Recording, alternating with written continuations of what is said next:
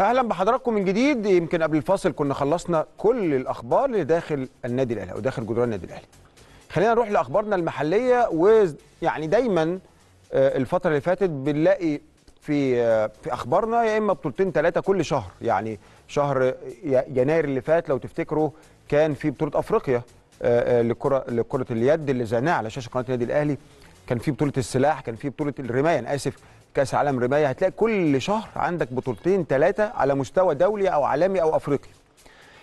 طيب ده آه، يعني آه، آه، دليل كبير إن مصر عندها الحقيقة الإمكانيات وال- والأدوات اللي تمكنها من استضافة هذه الأحداث.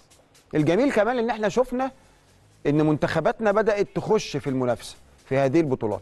يعني لو اتكلمنا في كرة اليد الحمد لله بنتكلم في أول أفريقيا المرة الثالثة على التوالي والتاسع اللقب التاسع. باكتساح الحمد لله. يعني إحنا فزنا بكل مبارياتنا بأريحية. عندك كأس العالم لل- للرماية آه، آه، عزمي محلبة اللي خد بطولة العالم واللي موجوده عندنا. فدايما بتلاقي البطولات ده الشهر اللي فات بنتكلم الشهر اللي فات وبمناسبه إن شاء الله احتمال كبير يكون معانا طبعا آه، هذا البطل العالمي الأولمبي الكبير عزمي محلبة هيكون معانا حلقة قريبة.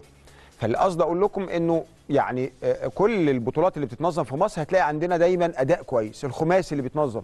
فبقى عندك الاستفادة كبيرة. كان زمان مصر بتنظم البطولات بس الحقيقة هنقول الصراحة مش هنضحك على بعض كان ممكن تبقى فرقنا بتيجي متأخرة. ولكن النهارده لا انت بتنظم بتنجح اداريا قدام العالم كله وبتستضيف قدام الدنيا كلها بنجاح باهر وفي نفس الوقت بتخش تنافس. طيب أحد آه، هذه البطولات اللي جاية الشهر ده هو الريشة. الريشة الطائرة عندنا بطولة أفريقيا 2024 والحقيقة آه، يعني الاتحاد الريشه الطائرة من الاتحادات اللي شغالة واللي بي واللي, هو بيدير اللعبة سواء للأصحاء أو كمان البارالمبيين فأكيد آه، آه، مجهود كبير منهم. بطوله أفريقيا اللي جاية اللي هتقام في الفترة من 12 ل 18 فبراير اللي إحنا فيه. الاتحاد أعلن عن لوجو البطولة أو شعار البطولة زي ما بنقول يعني باللغة العربية. المسؤولين في اتحاد الريشه الطائرة برئاسه الدكتور علي حسب الله.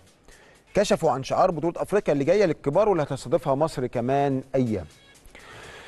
زي ما قلت لحضراتكم البطولة هتتلعب في الفترة من 12 ل 18 فبراير اللي إحنا فيه وهتتلعب في صالة 4 بإستاد القاهرة. شعار البطولة بيرمز للعبة الريشة وزهرة اللوتس واللي هي الرمز الرئيسي للتنوير الروحي عند القدماء الفراعنة. وتم اختيار ألوانها متوافقة مع ألوان علم جمهورية مصر العربية. ده اللوجو سيبوا لي شوية يا جماعة على الشاشة.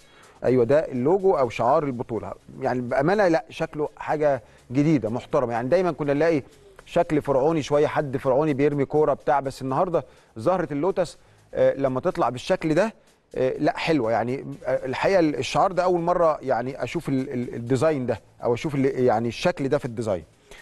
ومن المتوقع البطولة البطولة دي يشارك فيها عدد كبير من منتخبات أفريقيا وده هيبان بشكل كبير خلال اليومين الجايين دول لأن انطلاق البطولة هيكون يوم الاثنين اللي جاي والفرق بتأكد تباعا فرقة ورا الثانية أو منتخب ورا الثاني مشاركته. اللي هيفوز بلقب البطولة دي هيصعد يعني على صعيد الفرق سواء رجال أو سيدات هيتأهل أو هيصعد بشكل مباشر لبطولة العالم اللي هتتلعب في الصين في شهر 4 اللي جاي. وكمان اللي هيفوز بلقب الفردي هيساعده بنسبة كبيرة في سباق التأهل للأولمبياد اللي جاية بإذن الله.